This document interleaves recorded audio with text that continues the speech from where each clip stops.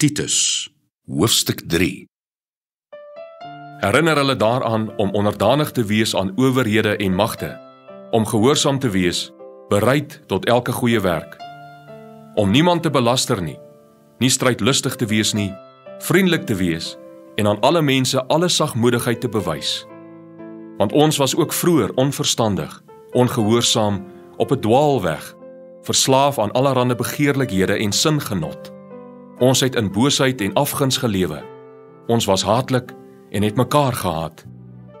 Maar toe die goedertierenheid van God ons verlosser en sy liefde tot die mens verskyn het, nie op grond van die werke van geregtigheid wat ons gedoen het nie, maar na sy barmhartigheid het hy ons gered deur die bad van die wedergeboorte en die vernuwing deur die Heilige Gees wat hy ryklik uitgestort het op ons deur Jesus Christus ons verlosser sodat ons geregverdig deur sy genade erfgename kan word ooreenkomstig die hoop van die ewige lewe.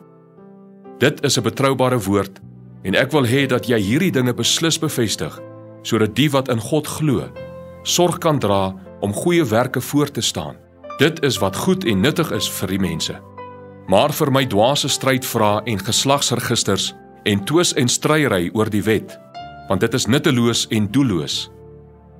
Aan 'n man wat partyskap verwek, moet jy jou onttrek na die eerste en tweede vermaaning, wetende dat so iemand op 'n verkeerde pad is en sonde doen en self veroordeel staan. Wanneer ek Artemas of Tychicus na jou stuur, doen dan jou bes om na my te kom in Nikopolis, want ek het besluit om daar te oorwinter. Jy moet Senas, die wetgeleerde, en Apollos ywerig voorthelp sodat dit hulle aan niks ontbreek nie. Ons mense moet ook leer om vir die noodsaaklike behoeftes goeie werke voor te staan, sodat hulle nie onvrugbaar mag wees nie. Almal wat saam met my is, groet jou. Groet die wat vir ons liefhet in die geloof. Die genade sy met julle almal. Amen.